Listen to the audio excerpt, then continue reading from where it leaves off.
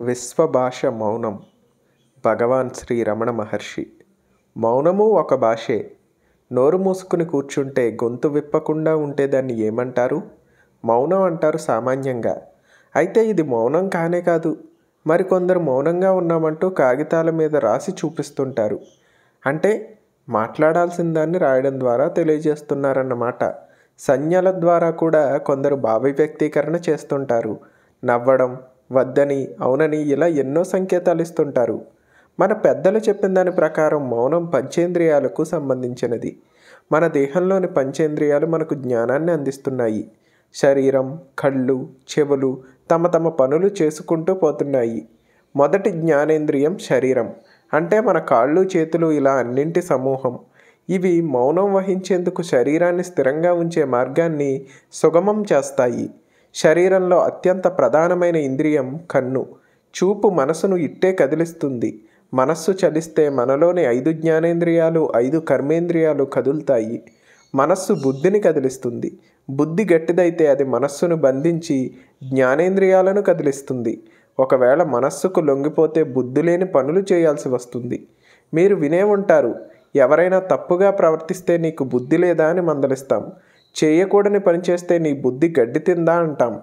కళ్ళకు శృంగార హాస్య కరుణ రౌద్ర వీర భయానక బీభత్స అద్భుత శాంతరసాలను చూపించగల శక్తి ఉంది.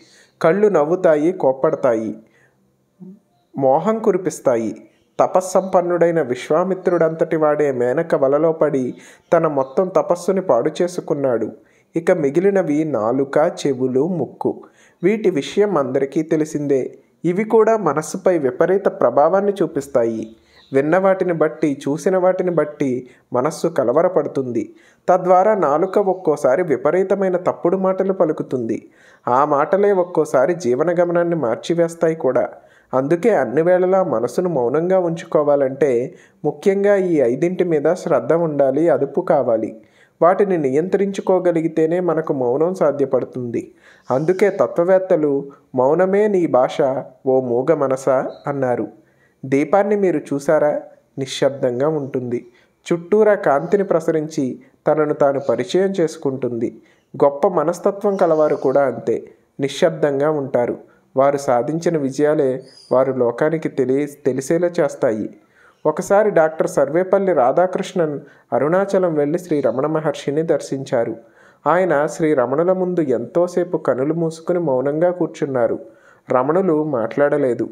నేరుగా వారు మాట్లాడలేదు. రాధాకృష్ణన్ వెళ్ళిపోయారు. అయితే తన ప్రశ్నలన్నింటికీ మహర్షి సమాధానమిచ్చారని రాధాకృష్ణన్ గారే దీని గురించి ఒక చోట రాశారు. దీనిని బట్టి మౌనంలో ఎంతటి అద్భుత శక్తి ఉంటుందో మనకు అర్థమవుతుంది. తాత్విక జ్ఞాన సముపార్జనలో మౌనం ముఖ్య పాత్ర వహిస్తుందన్న మాట వాస్తవం. తాత్విక జ్ఞానులు అడవుల్లో ఉన్న ఎక్కడో పర్వత శ్రేణుల్లో ఉన్న ఎవ్వరితోనైనా ఎప్పుడైనా సంభాషించగలరన్న విషయం మనకు పలువురు మహాత్ములైన దివ్య పురుషుల జీవిత విశేషాలను తెలుసుకుంటే బోధపడగలదు. అందుకే జిజ్ఞాసులైన వారు సదా శాంతి సూచకమైన శుభప్రదమైన కాల వినిమయానికి మౌనం శ్రేయో మార్గంగా ఎంచి ఆధ్యాత్మిక మార్గంలో సాగిపోవాలి. తద్వారా దైవీ శక్తులు సైతం వారికి తెలియకుండానే సంక్రమించే అవకాశం ఉందంటారు. శాస్త్ర వచనం ప్రకారం కూడా కొన్ని సందర్భాల్లో మౌనం పాటించాల్సి ఉంది. ఇతరులకు వెల్లడించకూడని వారికి అనవసర విషయాల్ని వారికి చెప్పవలసిన అవసరం లేని సమయాల్లో మౌనం పాటింపు అవసరమనేది వారి భావమై ఉంటుందని కొందరి అభిప్రాయం. అయితే మాట మౌనం రెండూ కూడా మానవ జీవితంలో మాత్రమే కనిపించే అద్భుత దశలు. పెద్దల మాటను రజతంగాను మౌనాన్ని స్వర్ణంగాను విశ్లేషించారు విజ్ఞులు. మౌనంగా ఉన్నప్పుడే చేతులు కూడా దక్షతను ప్రదర్శించే అవకాశం ఉంది.